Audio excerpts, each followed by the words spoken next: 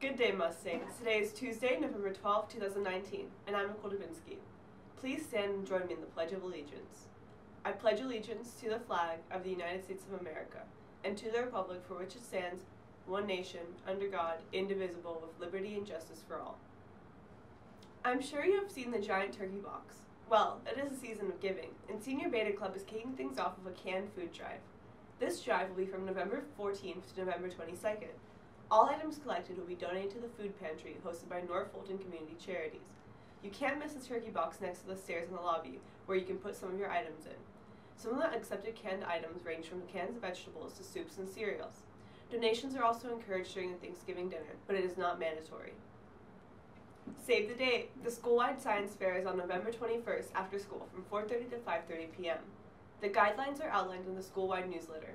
Don't forget to mark your calendars. The fall book fair will be open on each day from 7 a.m. until 4.30, except on Friday, November 15th, when it will close at noon.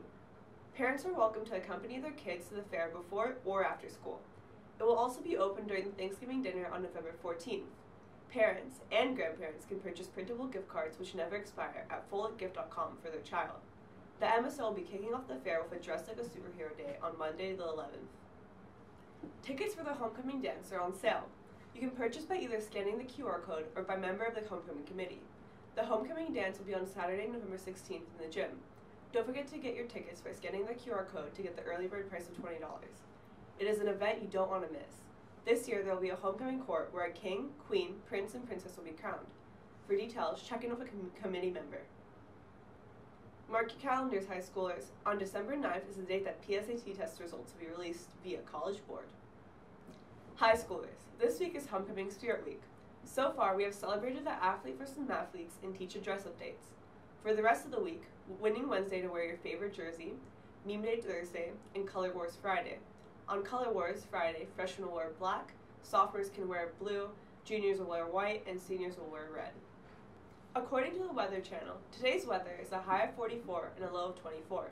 It should be raining towards the end of the day, so try to stay dry. Today's quote of the day is a Chinese proverb Learning is a treasure that will follow its owner everywhere. Get ready to laugh with the joke of the day. Why wasn't the geometry teacher at school? Because she sprained her ankle. Thanks for watching. I'm Nicole Dubinsky from Mustang News. And remember, Mustangs, we are hashtag stronger together.